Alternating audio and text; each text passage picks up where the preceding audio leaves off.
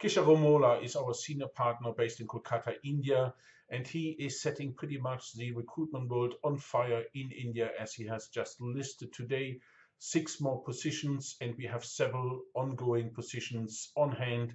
The first positions for today is for an executive chef must be Indian national for absolute flagship five-star hotel in India and we're looking for someone who have a really good understanding of banquet operation as this hotel is managing uh, function facilities of over 1800 people for sit-down dinners.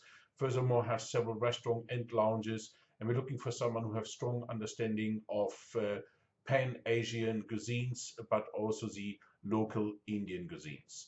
Furthermore, we're looking for someone who is able to manage a larger kitchen brigade, gets heavily involved into the training programs for the local workforce, and sets the best possible standards.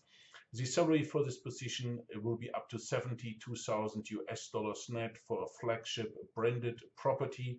And if you have international and the Indian experiences always coming out of the luxury brands, please contact Kishore. Or of course, you can speak to myself for any other openings and hopefully talk very soon.